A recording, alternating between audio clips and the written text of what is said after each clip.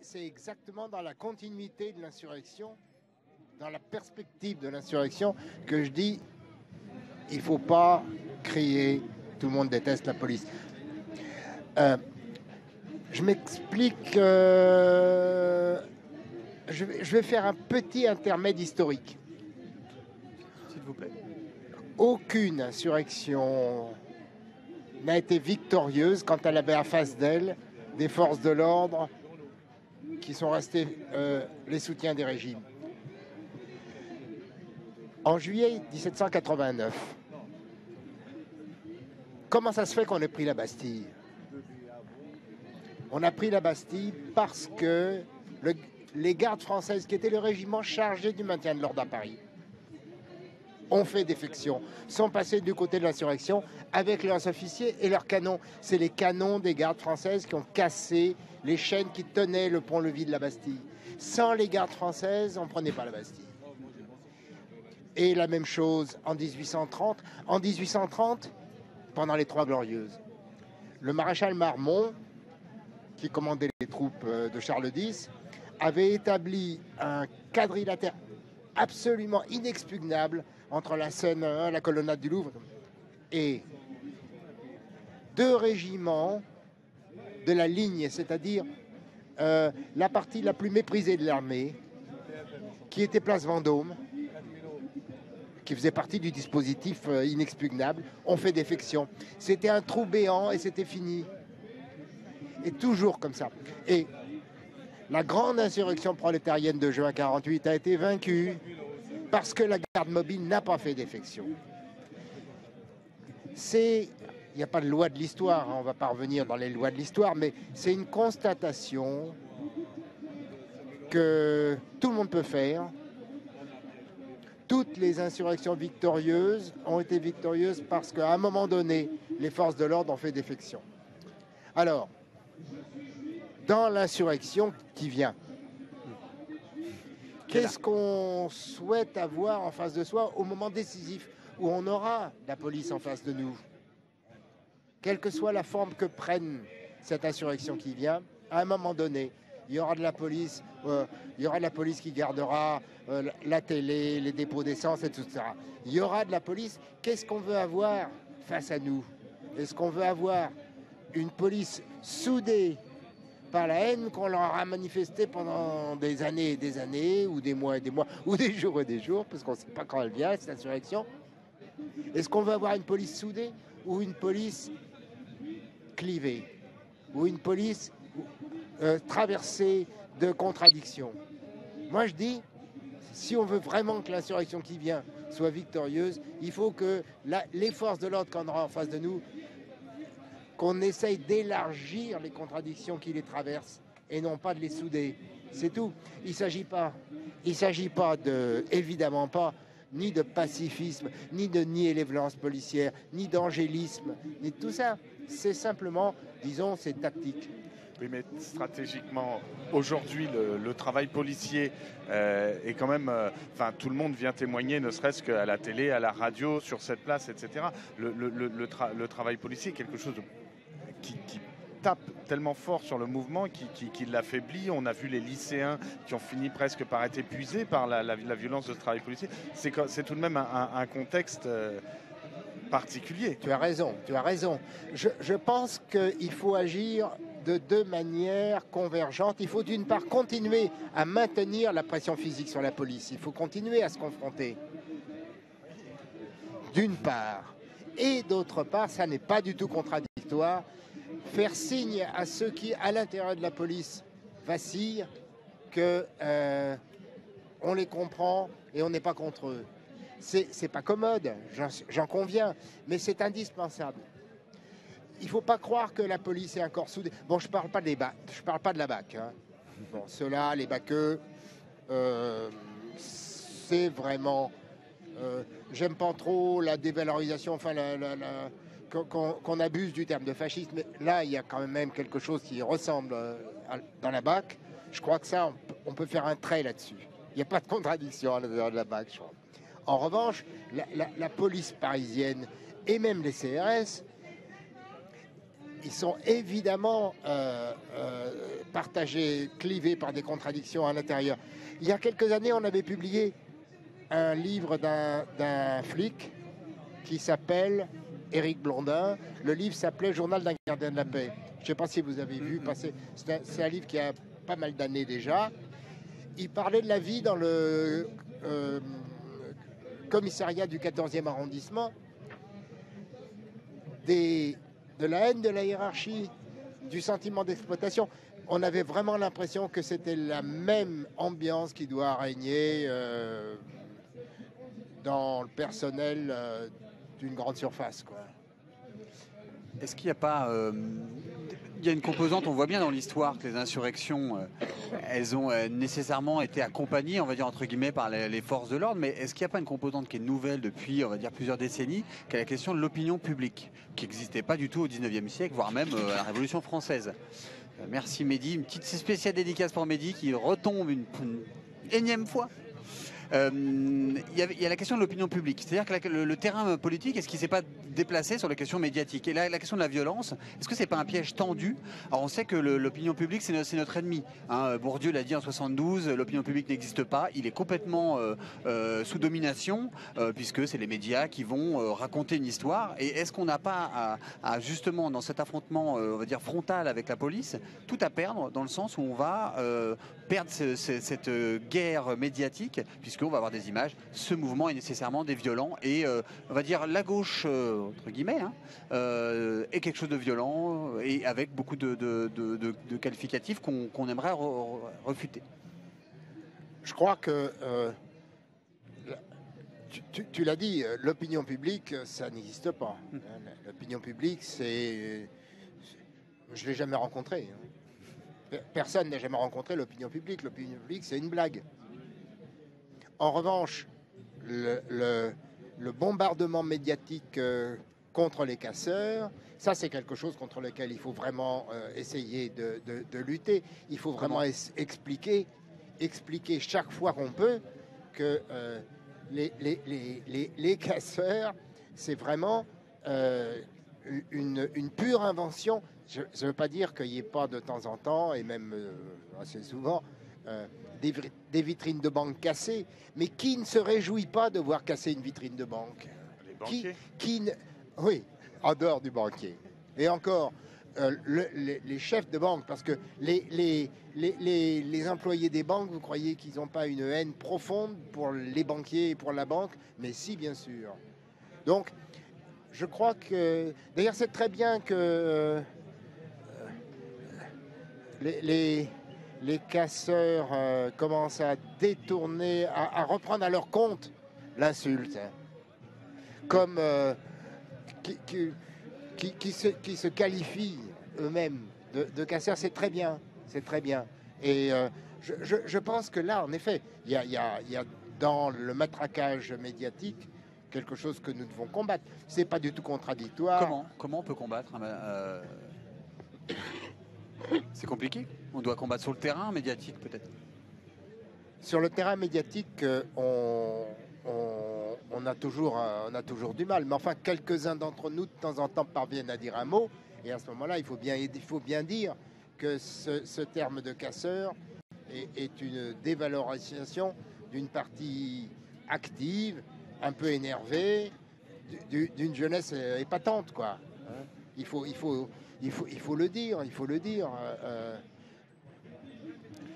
Il y a un truc qui m'a l'air nouveau, euh, enfin moi ça m'a l'air nouveau, c'est le fait que s'il y a une partie de la, manifestation qui a des pratiques un peu sportives, j'ai l'impression que le reste de la manifestation et du mouvement refuse de s'en désolidariser. Et on, entend beaucoup ce discours, enfin on discutait tout à l'heure avec Eric Fassin qui, nous rappelait ça, qu'il y, y, avait tout de même un il n'y avait pas de mise à distance du, mouvement avec une partie de lui-même. Euh, et, est-ce, que ça, c'est, n'est euh, pas une des forces aussi du, mouvement que de, réussir à ne pas accepter euh, les, séparations qu'on voudrait lui imposer? Dans, les manifs auxquels j'ai assisté, j'ai, vu quand même une différence nette entre les premiers, les, les- premiers rangs, la jeunesse euh, sportive des premiers rangs et euh, les syndicats derrière leur service d'ordre euh, qui n'était pas archi amical. hein. Euh, le, service d'ordre, euh, le service d'ordre de la CGT, de temps en temps, on a vraiment l'impression que euh, il travaille la main dans la main avec, euh, avec la police. euh. Je crois pas, non. C'est pas vrai ça? Non. Non, je crois pas, non. Tu penses que euh, il- je parle du service d'ordre, hein. je parle pas des, des- des- des militants, sy- des, des- des syndicalistes ou des ouvriers qui sont euh, autour de ces cordons rouges, qui sont quand même euh, une barrière. est-ce que les syndicats ont crois justement tout à perdre les- les- Ils les ont tout à de- perdre de la violence. Peut-être les syndicats aussi. Ils doivent. euh, Ils sont censés. Ils sont. C'est eux qui font le, le- le- le mouvement. C'est eux qui font la manifestation. Est-ce que c'est pour ça qu'ils euh, quelque part tempèrent Est-ce que finalement euh, bah, la CGT, pour pas la nommer, elle a tout à perdre de la violence. Pour, elle serait discréditée. C'est pour ça d'ailleurs qu'elle se désolidarise euh, très rapidement. Euh, comment on va faire euh, si on se si, si on, on accepte en son sein euh, des mouvements violents, est-ce qu'on risque pas de fracturer le mouvement social aussi? C'est pas une, euh, quelque chose qui peut être très clivant Plus que la pluie d'ailleurs? Je, je pense, je pense que cette, euh, ce- ce- cette frontière que tu dis, euh, elle est relativement récente. Enfin, pas si, on, s- pas si on prend comme échelle de temps la semaine, mais si on prend comme les années, il- fut un temps où les manifestations syndicales. La première manifestation à laquelle j'ai assisté dans ma vie, c'était en 1952. Ah ouais, quand même. Oui. C'était une manifestation contre Ridgeway la peste. Voilà. Le- une manifestation organisée par le Parti communiste et la CGT contre la venue à Paris pour diriger l'OTAN du général Ridgway qui avait commandé en Corée et dont on prétendait, probablement à tort, qu'il avait utilisé l'arme bactériologique. C'était contre Ridgway la peste. Eh bien, je peux te dire que c'est la manifestation, la première à laquelle j'ai participé et probablement la plus violente de toutes. Donc, la tradition de violence dans les mouvements syndicaux, elle s'est, elle s'est affaiblie jusqu'à disparaître complètement. Ça ne veut pas dire qu'elle ne va pas ressurgir. Non, voilà, on ne va pas poursuivre ce, débat sur les services d'ordre, mais moi je pense que les, même les services d'ordre de- des syndicats sont des syndicalistes et que je ne m'amuserai pas à présupposer qu'il y a du travail euh, commun entre la police et des syndicalistes. euh, J'en ai pas du tout la preuve, j'en ai que le sentiment euh, subjectif qui vaut ce qui vaut. Voilà. Bon, euh, moi je, vou- je voudrais revenir sur, sur Nuit debout, le mouvement euh, Nu- Nu- Nuit debout qui, euh, qui depuis un mois et demi continue à Paris, en, en, province, en banlieue. Et tu, as beaucoup écrit sur l'histoire de, Paris, sur l'histoire du, du- mouvement ouvrier, tu en as publié beaucoup. Alors tout le monde cherche des analogies. Alors il y a beaucoup des analogies avec qu'est-ce qui se passe en Espagne, qu'est-ce qui se passe, qu'est-ce qui a pu se passer dans, dans- dans le monde arabe et tout. Est-ce que dans l'histoire, tu, tu vois des choses, ça, ça t'évoque des choses sans, sans essayer de faire des parallèles trop. Est-ce que ça t'évoque? Je crois qu'il y a quelque chose qui se passe en ce moment et qui revient à des événements historiques. Si tu prends le 19e siècle, tout ce qui s'est passé de révolutionnaire, d'insurrectionnel au 19e siècle à Paris, s'est passé sur des places. Le, le Palais Royal aujourd'hui, c'est un jardin. Ouais. C'était la grande place centrale de la vie intellectuelle et politique parisienne. Et la révolution de 89, la révolution de 1830, la révolution de 48 ont démarré au Palais Royal. La place du palais de l'hôtel de ville, aujourd'hui euh, chiracisée avec ses, ses petits jets d'eau ridicules, ça, la place de l'hôtel de ville, ça a été la grande place de la commune de Paris. La révolution à Paris au 19e, c'est des places. Et puis, après la commune, soudain, plus de place. Des cortèges.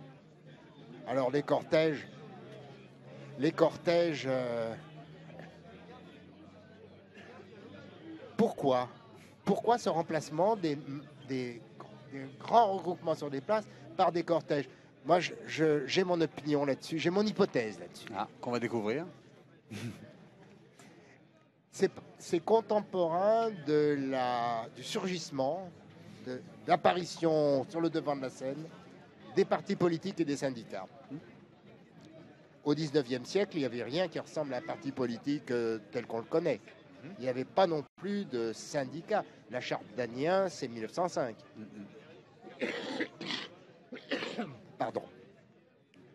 Les partis et les syndicats qui lançaient des mouvements, qui lancent toujours des mouvements, ils aiment les contrôler. Ce qu'on lance, on le contrôle. Hein, on ne va pas lancer des trucs qui vont partir dans tous les sens et on ne saura pas quoi faire. Non, on contrôle. Essayer de contrôler une foule sur une place, c'est pas possible. Surtout quand il n'y a pas de leader et pas d'équipe dirigeante. Hein. Vous pouvez pas la contrôler. Une place, c'est incontrôlable. Alors qu'un cortège, les, stratégies, les tactiques, les moyens, les trucs pour contrôler un cortège, tout le monde les connaît. Il suffit de mettre les bonnes personnes à l'avant avec les bonnes banderoles, de mettre les camions sonos euh, qui vont débiter de la musique de façon à ce qu'on.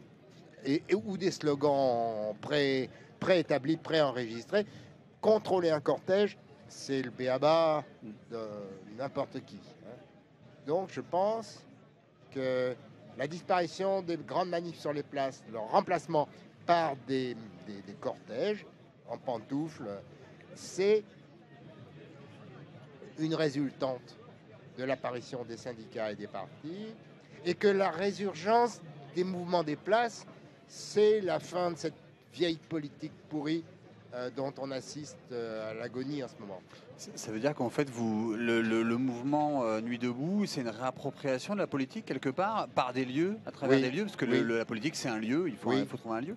Si on, et les entreprises, est-ce que c'est pas un lieu intéressant? On est quand même sur une. Est-ce que c'est juste le nuit debout sur la loi travail? Donc on est sur une question de militantisme dans les entreprises, sur la question du travail? Ou est-ce que c'est quelque chose de plus général, global? Enfin, je, donc, pense, euh, je, pense, je, pense, que euh, le, phénomène de nuit debout dépasse largement euh, la protestation contre la loi machin chose. machin chose. La loi licenciement. Voilà. Ouais cette loi qui nous explique que pour combattre le chômage, il faut faciliter les licenciements. Euh, ce qui veut dire que le, mal est plus profond. On se réapproprie des lieux, on se réapproprie la politique.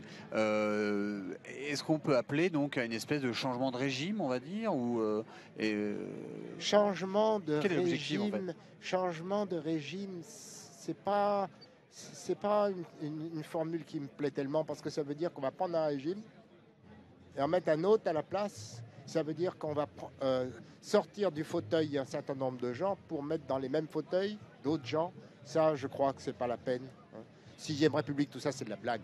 Hein. C'est pas la peine de se fatiguer. Vaut mieux rester à regarder la télé. Hein. Je crois vraiment que l'idée qu'on va prendre un, régime et le remplacer par un autre régime, moi, je crois que euh, cette vieille politique, disons, la démocratie parlementaire. C'est pas si vieux que ça. Ça a deux siècles et c'est en train d'agonir sous nos yeux. Ça, c'est vraiment intéressant. C'est vraiment intéressant, c'est très nouveau. Parce que il y a encore cinq ans, on disait ben, il va y avoir des élections et vous allez voir ce que vous allez voir.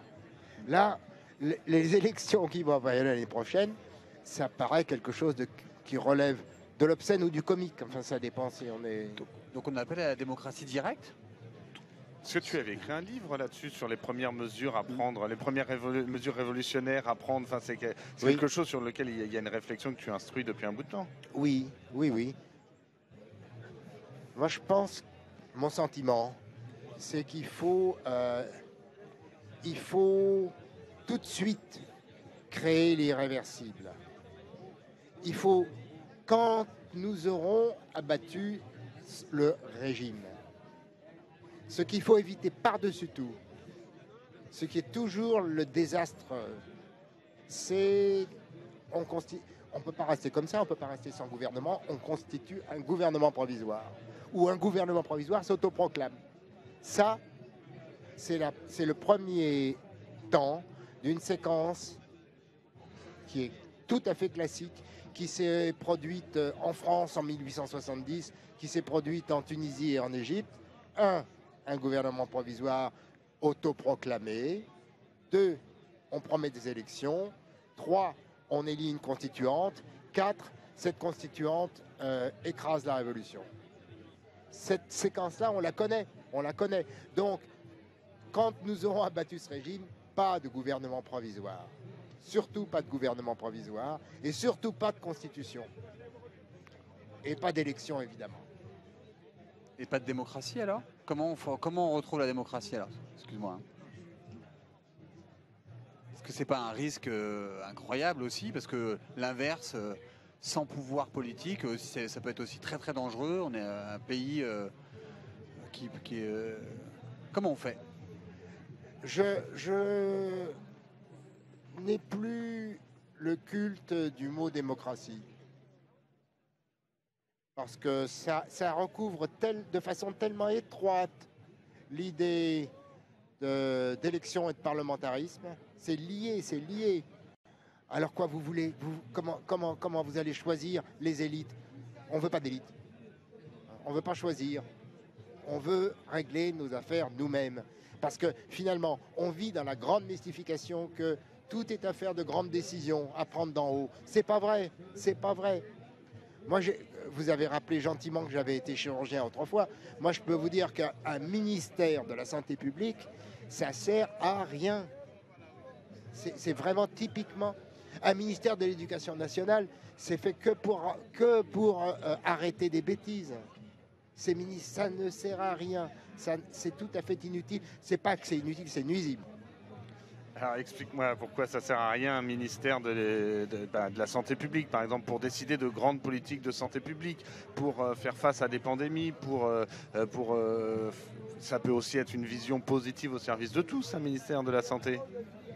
Je crois qu'il faudra, pas qu'il faudrait, mais qu'il faudra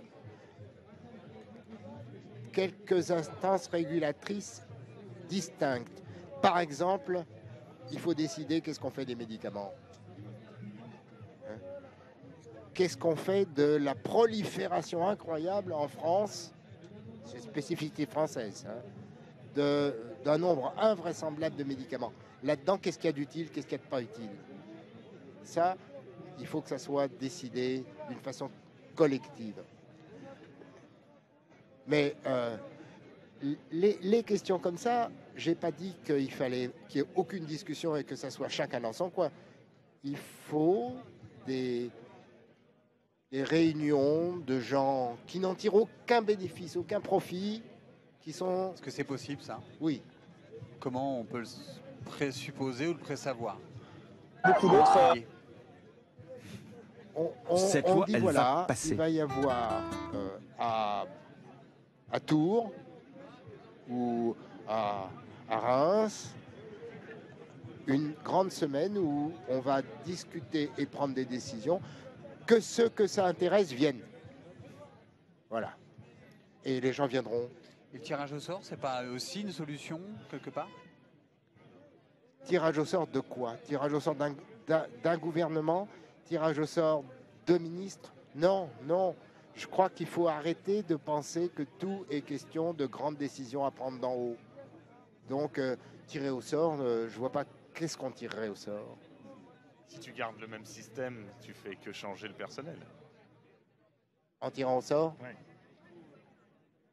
Non, euh, c'est vrai que si, cette, si ce, système parlementaire avait, derrière avait été animé par des gens malins, ils arriveraient, ils essaieraient de le sauvegarder en prenant des mesures euh, du genre tirage au sort, du genre mandat non renouvelable, du genre euh, euh, mandat révocable à tout moment, une série de, mesures comme celle-là. Je, pense que ça ne marcherait pas, mais ce, serait, ce serait ce qu'il... Ce, ça aurait été leur seule chance. Ils l'ont raté. Bon. C'est-à-dire que c'est fini là? Oui, je pense que la démocratie parlementaire, c'est fini. Il se passe des choses invraisemblables. La campagne électorale euh, du Parti démocrate en Amérique, c'est quand même quelque chose d'extraordinairement singulier qui montre que même dans ce pays qui paraît vraiment...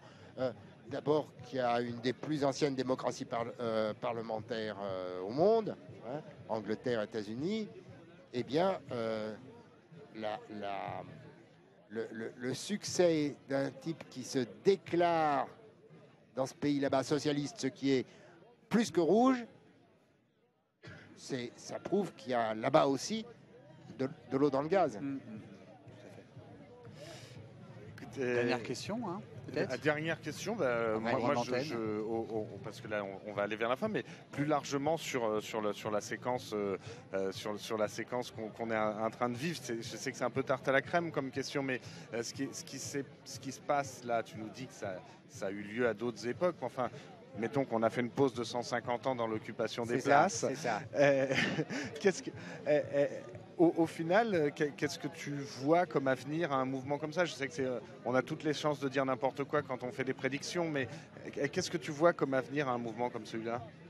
Je, crois que ce mouvement a abouti à un. On était dans une plaine, et là, ce mouvement a abouti à, ce qu'on soit sur un plateau.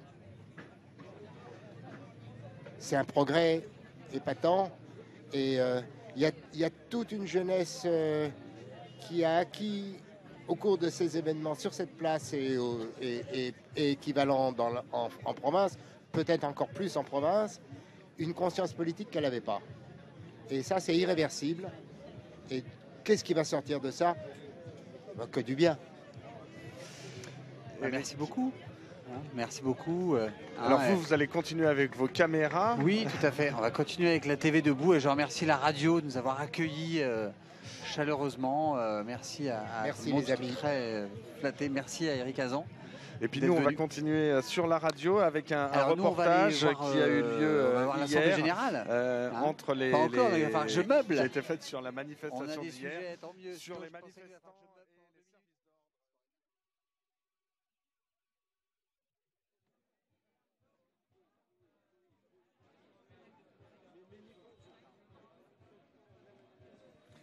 Alors nous, on va continuer, donc on va vous diffuser des sujets de je ne sais pas du tout lequel.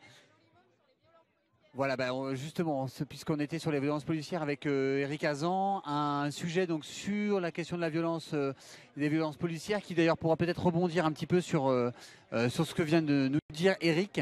Et on se retrouve tout de suite après sur le plateau de TV Debout. À bientôt.